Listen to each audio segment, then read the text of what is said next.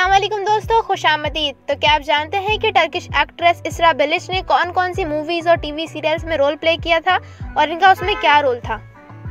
जो इनकी सबसे पहले टीवी सीरीज़ थी, जो इनकी डेब्यू थी, उसका नाम था सुल्तान और ये 2008 में आई थी और इसमें इसरा बिलिश ने साइड रोल प्ले किया था।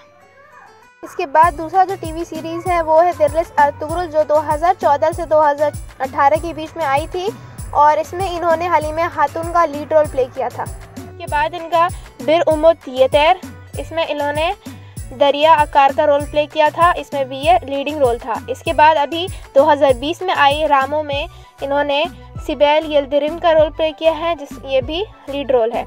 इसके बाद मूवीज़ में बात करें तो इन्होंने 2020 में एक न्यू इनकी मूवी आई है, जिसका नाम है अदानीस कुछ साल कवगा, जिसमें इन्होंने जमरे का रोल प्ले किया है और ये भी लीड रोल है।